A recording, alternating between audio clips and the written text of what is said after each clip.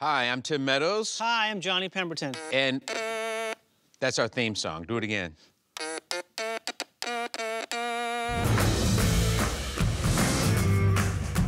Thanks for coming by. Your apartment's really funky, dude. People think just because I'm in my 50s that I'm not uh-huh. cool. Yeah. I'm cool. I would never think an adult would have a cool little.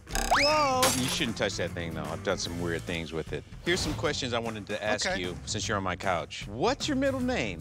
Desjardins. Is that a family name? Yeah. What do you remember about the first time you saw yourself on national television? I thought my face was fat. Really? I had a fat face. Did you lose weight? I, yeah, I was bulimic for about five years. Five years. Yeah. That's a long time to do Yeah. that. But I survived that. Worked out. Yeah, look at me now. What was the movie or TV show that you watched that you were probably too young to Oh, be like watching? content-wise? Yeah. My Three Sons. That's pretty rough. Donna Reed. I was in love with Rhoda, Rhoda. Valerie Harper.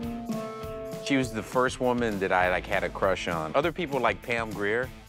Pam You know Grier's- Grier? she's Yeah. foxy. I was like, She's- no, man, Rhoda's hot.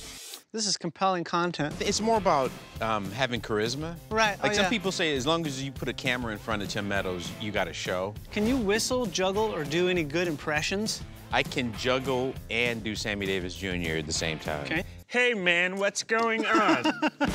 all right, that's all the time we have. Yep. I'm Tim Meadows, I'm Johnny Pemberton. and you can come and see us on Son of Zorn. Live. Yeah, it's well, it's not live. Hard to do an animated show live. Well, it's hard, but we do it. Yeah.